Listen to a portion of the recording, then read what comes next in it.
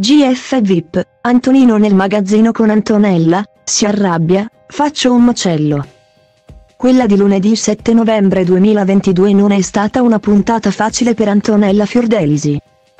La ragazza si è confrontata con il suo ex fidanzato, nonché migliore amico, e dopo il confronto è andata in crisi. Appena la puntata è terminata, Antonella si è sfogata con Nikita, per poi chiudersi in magazzino con Antonino suscitando così l'ira del suo nuovo fidanzato, Edoardo Donnamaria. Antonella, chiusa nel magazzino del grande fratello VIP con Antonino, ha rivelato di aver visto il suo ex molto dimagrito e che stava male.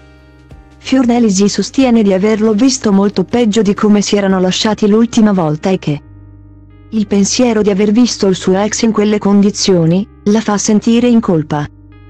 Antonella ha anche rivelato di non aver mai visto il suo ex piangere per lei e che, oltre ad un fidanzato, per lei era come un padre, migliore amico e fratello e che non ha mai visto nessuno che l'ha amata così tanto come il suo ex. Edoardo nel mentre si è messo alla porta del magazzino per origliare ciò che si dicevano Antonino ed Antonella.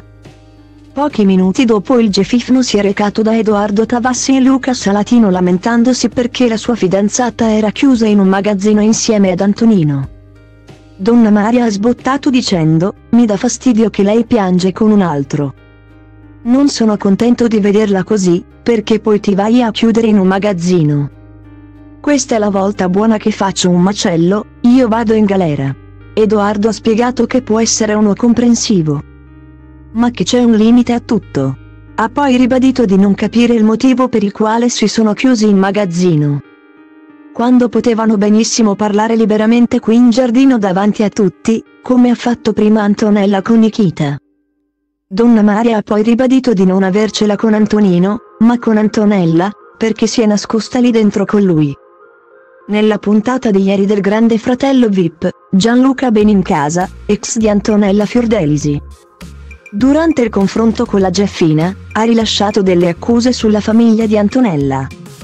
Il ragazzo ha detto che fuori dalla casa c'è gente che rilascia interviste e che Fiordelisi a seguito del confronto con la sua famiglia è cambiata. Insinuando che è stata manipolata dalla sua famiglia.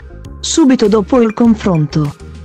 Il padre di Antonella, Stefano Fiordelisi, ha pubblicato una storia Instagram con scritto, è pazzo per poi pubblicarne un'altra con scritto, certi comportamenti scomposti e insensati imporranno un futuro severo divieto di avvicinamento. Gianluca, dinanzi a queste storie, non è rimasto in silenzio e ha risposto dicendo che lui non è assolutamente il nemico e che se solo fossero andati oltre. Adesso non erano sui social a minacciarlo.